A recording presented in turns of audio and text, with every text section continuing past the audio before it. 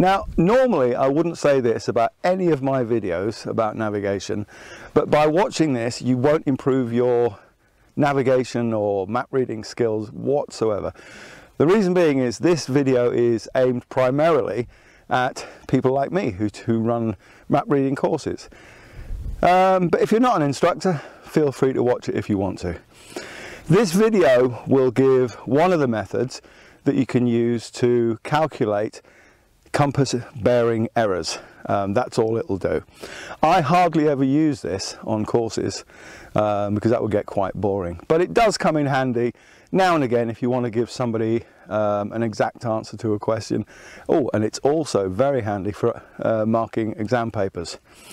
I'll give you the function first and then afterwards, if you want to watch the end of the video, I'll explain how and why it works. You might remember this chord function from your school days, but we can use it for a slightly different purpose to most people. You're going to need a calculator, or at least a mobile phone with a calculator on it. So do you want to pause the video now um, and go and get one? I'll just wait. Okay then, have you got one? Right, let's say you've asked your course participants to come up with a bearing and a distance from here, where I am on 0.483, I'll put it on your screen, and you want to work out the bearing and a distance from here at 483 to this track junction that I, you can see on your screen. Now they tell you the distance is 1100 meters and the bearing is 30 degrees. Now as an instructor you're going to immediately recognize that the bearing is 40 degrees. The distance is about right so that's fine. So you'll be able to calculate that they will miss their target by 192 meters. Now 192 meters is uh, quite precise and it's simply not possible to do that either looking at a map or using a compass in any way. You have to use a function to do it. So this is the function. It is 2 times the distance times the sine of the error divided by 2. As you remember, hopefully from school, that's just a derivation of the standard circle arc theorem. Um, I said it's the error divided by 2. Okay, so in this case, they should have walked on 40 degrees, but they actually walked on 30, so the error is 10.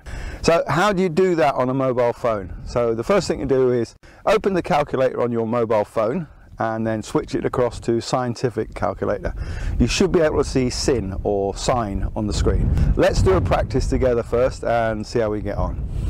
Let's say somebody was walking on, I don't know, pick a figure, 1650 meters and they should have been walking on a bearing of 123 but unfortunately they actually walked on a bearing of 132 so we're doing this one together.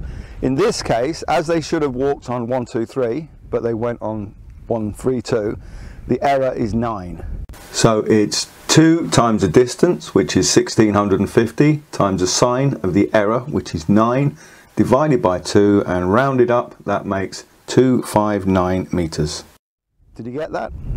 If you did, well done. Let's do another one. This time, do it, well, you can do this one on your own. Let's see if you've uh, if you've got it. You can always pause the video and or reverse it and go back and uh, until you get it right.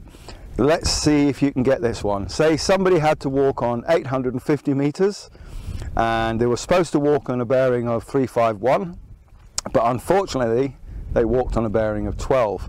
Now in this case bear in mind there are 360 degrees in a circle. So pause the video and see how you get on. Okay then, did you get 309 meters? If you did, then you've got it. If not, go back and uh, just have another, keep trying until you get it. So that's the function, it's two times the distance times the sine of the error divided by two. It may be a good idea to put to screenshot this, what's on your screen at the moment, and save it on your phone as a, a reminder. That's the end of the first bit of the video, so that's it, you're finished. Or if you want to, in the next bit, I'll actually show you why that particular function works as it does. This is part two of the compass bearing error calculation video.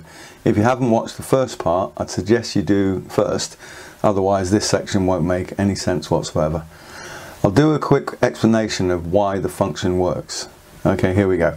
Hopefully you remember from school that a circle has a circumference and that a section of the circumference is called the arc or called an arc. If you know the distance from the centre of the circle to the arc and the angle between the two ends of the arc, you can calculate its length using a simple arc formula, which would be the angle times pi divided by 180 times the radius. So in this case, the arc would be 96.6 meters. You can also calculate the straight line distance between the ends of the arc. This is known as a chord. And the formula for that is 2 times the radius times the sine of the angle divided by 2. Now, if we go back to our map and have a look at the initial error your course participants made, we can think of the 1100 meter distance to the target as the radius of a circle. We know the difference between the correct and the incorrect compass bearings is 10 degrees, so that's our angle. Now there's an arc formed between the two bearings on an imaginary circle. So we know the radius, which is the distance, and we know the angle, which is the difference between the two bearings. All we need to do to calculate the direct line distance between the two points is use a standard chord formula, which is, as I've said, 2 times the radius times the sine of the angle divided by 2 and that gives us 191.7 meters which we round up to 192 meters. So that's it. I hope you found it at least a little bit interesting. Don't forget to screenshot this what's you know this formula that's on your screen at the moment and to save it to you know to help you remember